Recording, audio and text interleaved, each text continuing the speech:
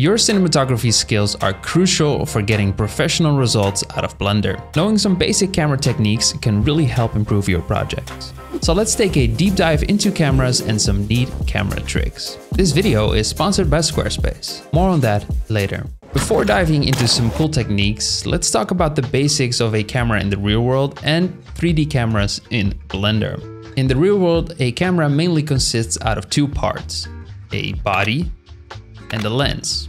Now don't get me wrong, these things can look like absolute transformer units, but yeah, in the basis this makes up a camera. The body determines things like recording resolution, sensor quality and size, FPS, shutter speed and the dynamic range. The lens on the other hand determines the focal length, aperture, which is expressed in f-stops, and the field of view. Now why is this information relevant? Well, because a lot of it translates into Blender, but also a lot of it doesn't. If we compare the two, a camera object in Blender offers things like focal length and aperture, but none of the other things. So if you want to change your FPS, for example, you can't do that inside of your camera, you have to do that inside of the output properties, and also there is basically no limit to the FPS like a real world camera would have.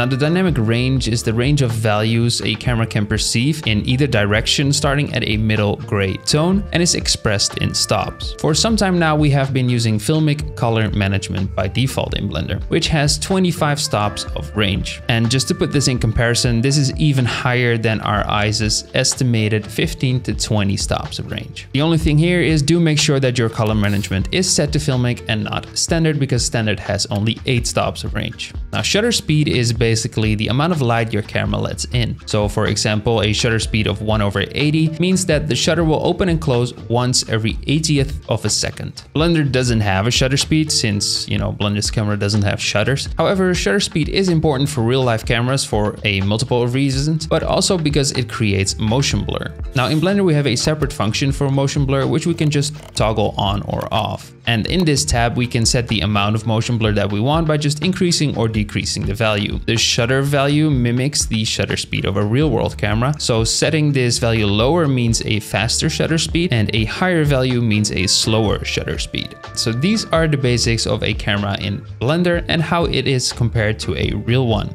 Now let's dive deep into some cool tricks to level up your cinematography skills. Rack focus. Rack focus is essentially a change of the focal point and depth of field in a scene. It's a common technique in cinematography to tell the viewer where to look and usually reveals some crucial piece of information. For example, in this shot that I created, the rack focus is used to convey that you're not just looking at some random field of grass, but in actuality there's someone's remains lying in the grass. And so we can use this to tell a story and set the mood for our shot. Now it's very simple to do in Blender. Just select your camera and set it up the way you want, keyframe your positions and rotation, etc. for the shot as you want it. Now we just add in an empty and set the depth of field target of our camera to that empty. Now decide on an f-stop that works for your scene. Usually I'd go for something that an actual camera can produce and just keyframe the location of your empty to create the rack focus effect. Super simple.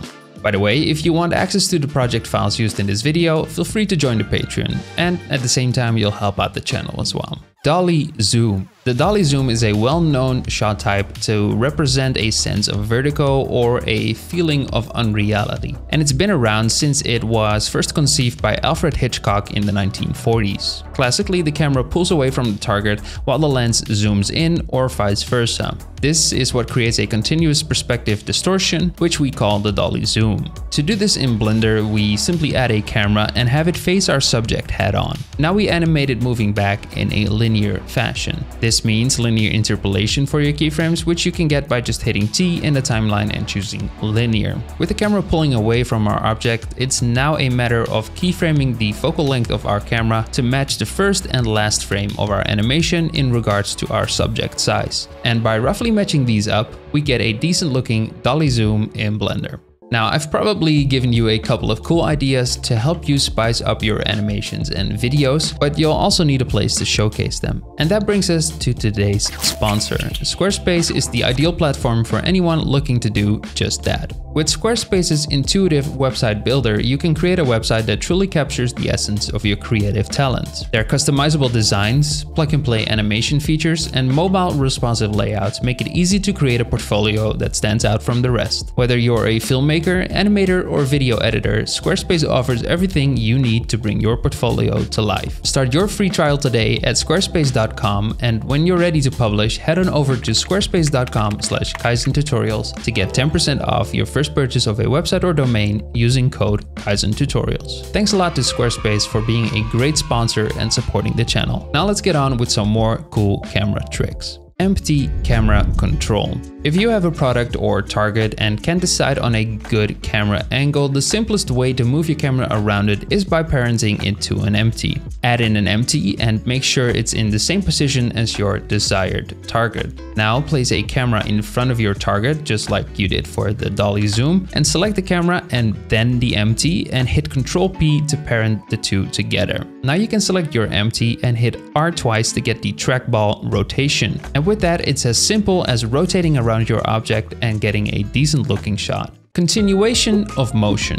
Continuation of motion is not as much a camera trick as it is a visual concept that keeps the flow of your animations or videos going. The idea is that you want to have the motion in one shot continue on into the next. So let me give you an example. In this shot, the motion of the camera and product are downward with some rotation. In the next shot, even though there's a completely different camera angle, this motion continues and so the flow of the animation continues even though we get a different camera angle. Now this isn't something you want to do for every shot. You can keep it going for two or three shots and then break it up by going in a different direction for the next few shots. Or you can add a head-on steady shot to create a moment of rest between the more busy parts of your animation. Alternatively, you can also add contrast between shots by using opposed motion. Simply put, this means that if one shot goes up, the next one goes down. This creates a stark contrast grabbing the viewer's attention. Try not to overdo any of these things because it will create a jarring effect. Overall, a good animation has this wave-like pattern when it comes to the motion. You want some fast parts, you want some slow parts,